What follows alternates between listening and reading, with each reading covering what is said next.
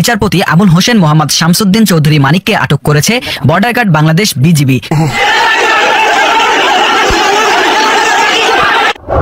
ক্ষমতাচ্যুত আওয়ামী রেজিমের সবচেয়ে ঘৃণিত যে কয়েকজন মানুষ ছিলেন তাদের মধ্যে একজন শামসুদ্দিন চৌধুরী মানিক। আসসালামু আলাইকুম দর্শক শ্রোতা আশা করি সবাই ভালো আছেন। তো আলহামদুলিল্লাহ আমিও ভালো আছি। তো দর্শক শ্রোতা আপনারা তো সবাই জানেন একে একে আওয়ামী লীগের সব করে নেতাকর্মীদের গ্রেফতার করে নেওয়া হলো। শুধু বাকি ছিল বিচারপতি শামসুদ্দিন মানিক। কিন্তু অবশেষে এই বিচারপতিকে গ্রেফতার করে নিল সেনাবাহিনী। তো দর্শক, অবশেষে এই বিচারপতিকে কি করল সেনাবাহিনী আমরা আজকে সেই বিষয়ে বিস্তারিত জানব। তো আমরা কথা না বাড়িয়ে চলুন মূল ভিডিওতে চলে যাই। তো ভিডিওতে যাওয়ার আগে আপনাদের কাছে একটাই রিকোয়েস্ট যারা যারা আমার চ্যানেলে নতুন আসছেন চ্যানেলটা সাবস্ক্রাইব করে রাখেন আর পাশে থাকা বেল আইকনটা বাজিয়ে দিন। তো চলেন। ক্ষমতাচ্যুত আওয়ামী রেজিমের সবচেয়ে ঘৃণিত যে কয়েকজন মানুষ ছিলেন, তাদের মধ্যে একজন শামসুদ্দিন চৌধুরী মানিক। মানে একটা জিনিস বুঝতে হবে, আপনি কতটা খারাপ সেটা একটা যেমন ব্যাপার আছে, তার চাইতে হয়তো বড় ব্যাপার মানুষের আপনার সম্পর্কে পারসেপশন কি। অনেক সময় এটা হয়, তুলনামূলকভাবে বেশি খারাপ মানুষটার সম্পর্কে আমাদের পারসেপশন অতটা থাকে না, তুলনামূলক কম খারাপ মানুষটার প্রতি আমাদের পারসেপশন ভয়ঙ্কর হয়ে যায়। যারা মালিকের প্রতি আমাদের ভয়ঙ্কর নেগেটিভ পারসেপশন আছে এবং এই ভদ্রলোক ধরা পড়েছেন। গতকাল রাতে আমরা এই নিউজ যখন দেখলাম, তার কিছু ভিডিও যখন ছড়িয়ে পড়ল, আমরা বলি, না, ঈদের আনন্দ। আমার কাছে ঈদের চাইতে বেশি আনন্দ নেটিজেনরা করছেন, সেটা মনে হয়। কিন্তু এখানেও আমার কয়েকটা কথা একটু বলতে চাই। যেন মানিকের পক্ষেই।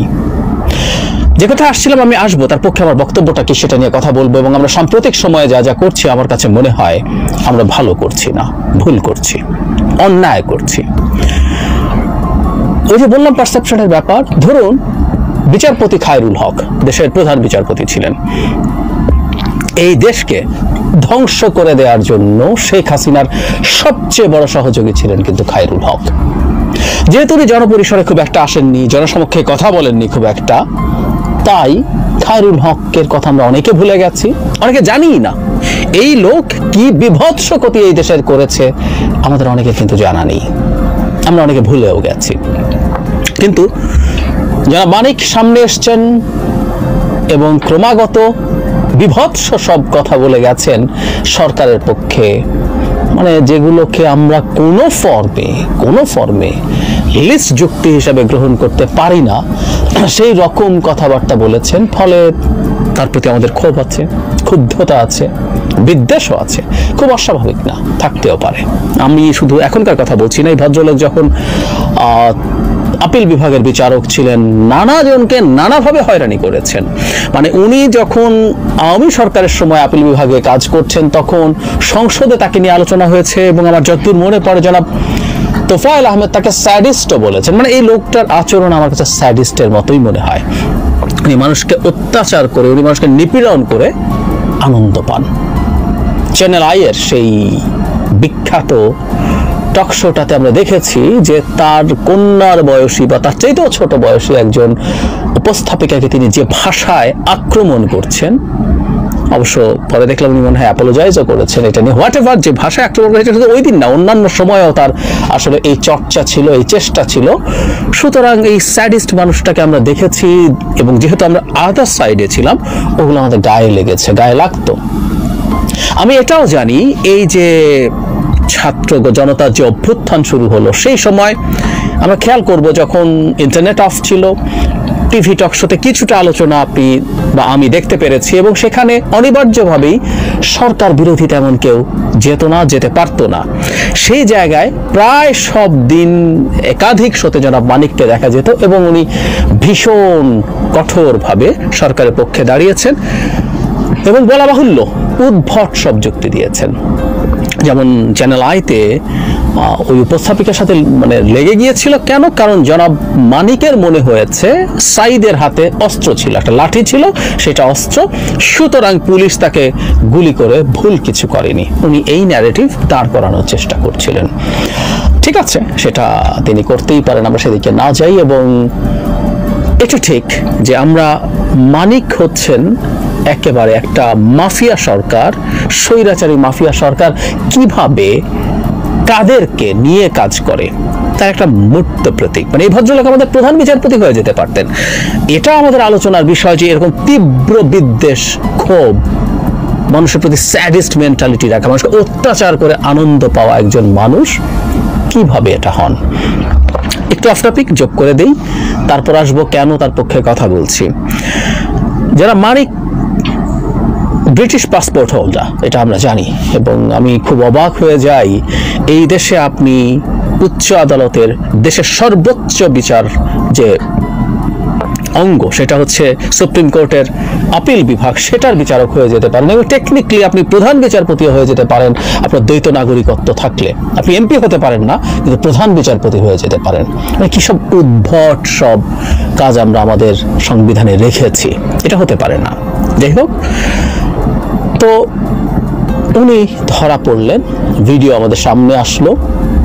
একবার দেখা যায় তিনি কচু পাতা বা এরকম কিছুতে খুব কাদা মাখা হয়ে শুয়ে আছেন। আমার মনে হয় এগুলো কতগুলো লেসনও মানে এই ভদ্রলোককে এভাবে পালাতে হচ্ছে যেন সালমান এফ রহমানকে দাড়ি কামিয়ে চুলে রং করে কালার করে পালাতে হয়েছে। মানে ক্ষমতার দম্ভ কোন জায়গায় তো দর্শক আপনারা তো এই ভিডিওটা দেখছেন যদি আপনাদের কোনো মূল্যবান মন্তব্য থেকে থাকে তাহলে আমাদের কমেন্ট বক্সে জানাবেন তো পরবর্তী আমাদের কাছে আরও একটা ভিডিও আছে যেটার কাছে আপনারা আরও কিছু তথ্য জানতে পারবেন। তো চলেন ওইটাও শুনে আসি। আছে স্যার আছে স্যার আছে আপনার বাড়ি মুন্সিগঞ্জ নাম জিজ্ঞেস করবেন আমার নাম আমার নাম বিচারপতি শামসুদ্দিন চৌধুরী মালিক বিচারপতি শামসুদ্দিন মালিক মালিককে হাইকোর্টে যিনি কয়েকদিন আগে ইয়ে উপস্থাপনা করছ চ্যানেল আইছি সিনিয়রকে হ্যাঁ হ্যাঁ সেই মালিক আমার নাম বিচারপতি মালিক বাড়ি মুন্সিগঞ্জ আপনার পিতার নাম পিতার নাম মরহুম আব্দুল হাকিম চৌধুরী আব্দুল হাকিম চৌধুরি গুড আপনি এই যে পালাইতেছেন কেন বলেন কোথায় পালাইতেছি কার বইয়ে আর প্রশাসনের ভয় প্রশাসনের বইয়ে ওই একটা মেয়ে যে বলছিলেন যে ইয়ের বাচ্চা দীপ্তি চৌধুরী। এটা আমি খবর চেয়েছি। এই নামটা বলা হবে নামটা বলা হবে না বলি আপনাকে হ্যাঁ কিশোর আমি তো অত রুগী নেই মিডিয়াতে তো খুব সুন্দর। আচ্ছা আচ্ছা শোনেন। আপনার কাছে এই মুহূর্তে এরা যখন ধরছে আমাদের প্রতিনিধি কি কি ছিল সাথে?